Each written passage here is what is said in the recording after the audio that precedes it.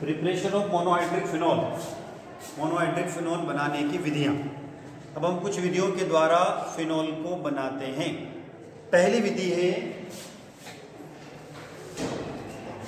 hydrolysis of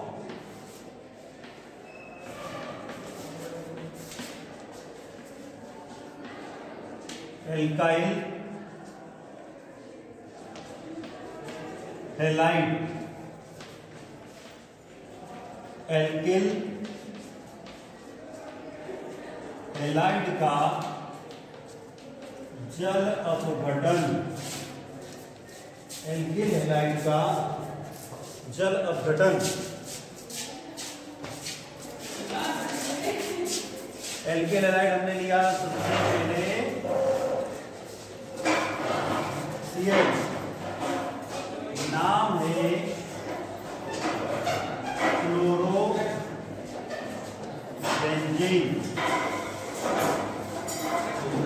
इसकी reaction जब हम सोडियम हाइड्रोक्साइड के साथ में करेंगे, कब करेंगे? तो कॉपर कैटलिस्ट के प्रेजेंस में 30 to 35 300 to 350 degree centigrade formation किसका हो रहा है? यहाँ पर बन गया OH यानी बन जाता है फिनॉल प्लस NaCl का फॉर्मेशन होता है। दूसरी रिएक्शन देखेंगे। बाय सल्फोनिक एसिड सल्फोनिक अम्ल से बाय सल्फोनिक एसिड सल्फोनिक अम्ल से सल्फोनिक एसिड का फॉर्मूला क्या है? SO3 H.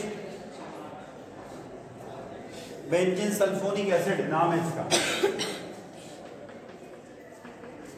बेंजीन सल्फोनिक अम्ल सबसे पहले रिएक्शन होगी इसकी NaOH के साथ।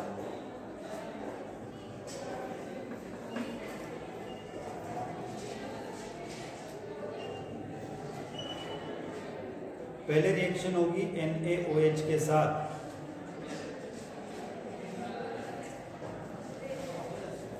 क्या हुआ? देखो। यहाँ पर बचा हुआ है ओ एन माइनस क्या निकला? H2SO3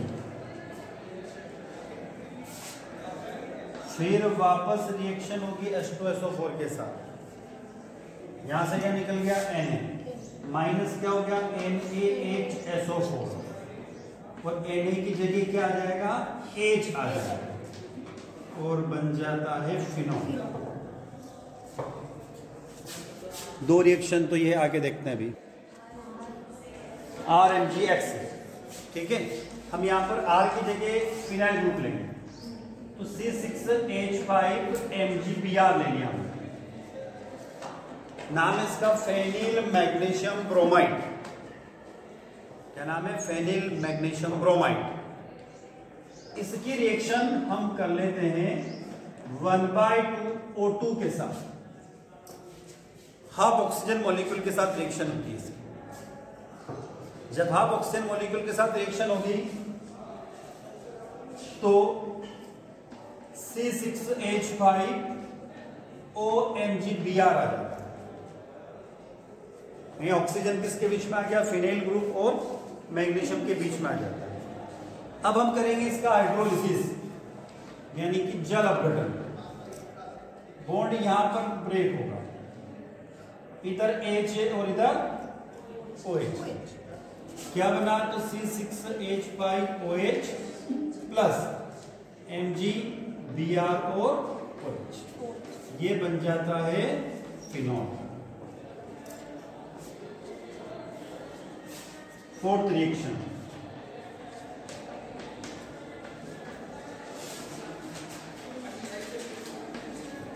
by diazonium compound या डाइजोनियम सॉल्ट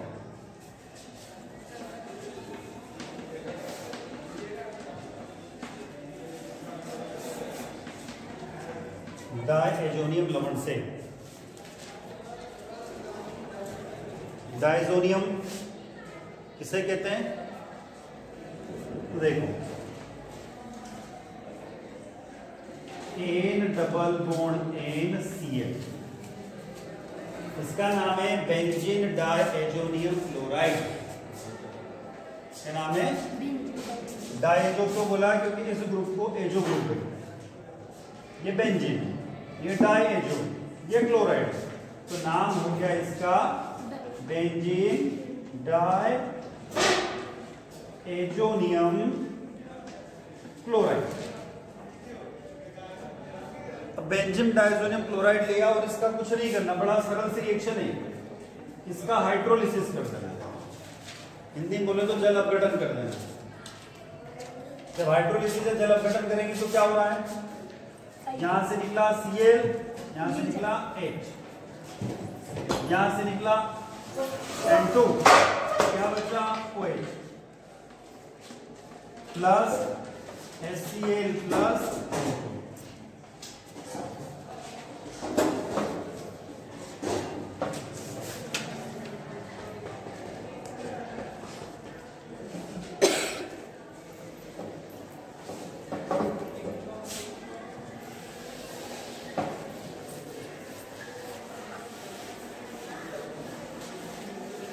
next method है फिफ्थ मेथड। ट्वेल्थ के अंदर दे रखी है। Raschig method. R A C H I G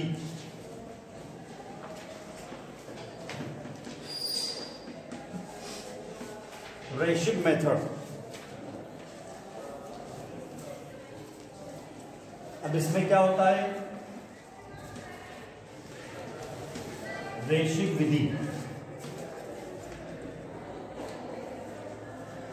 इसमें सबसे पहले लिया जाता है बेंजीन फार्मूला क्या है?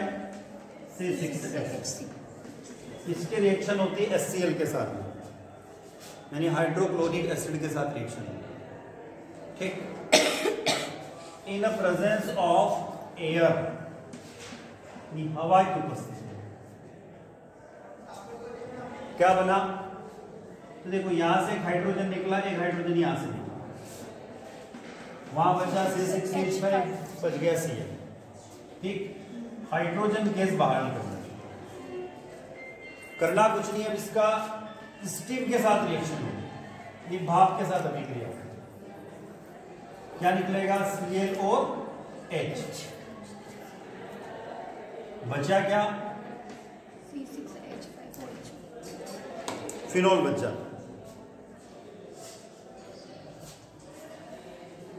नेक्स्ट बेंजीन के ऑक्सीडेशन से.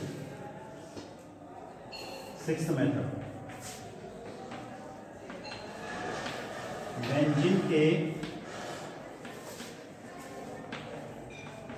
ऑक्सीकरण से.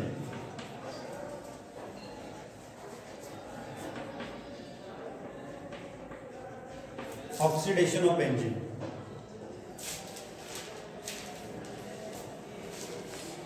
बेंजीन का oxidation to C six H five sorry to six S six ये क्या बेंजीन?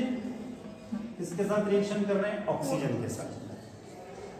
रिएक्शन होती है कैटलिस्ट की प्रेजेंस में उत्प्रेरक की प्रेजेंस में, जिसका नाम है V2O5 वेनेडियम पेंटाऑक्साइड एक ऑक्सीडाइजिंग एजेंट है।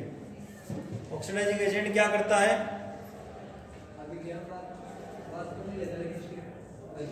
गति तो बढ़ा रहा है तो ये क्या कर रहा है? ऑक्सीजन को इसके साथ ऐड कर देता है। ठीक है ना?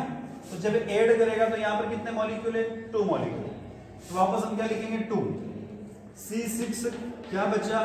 एच फाइव यहाँ से कितने ओ आए? दो ओ आए। ये दो ओ लिखेंगे और वापस वापस क्या? एच जो निकला वापस नीचे निकला तो ऑक्सीडेशन होने पर हमें मिल जाता है फिनॉल ठीक है?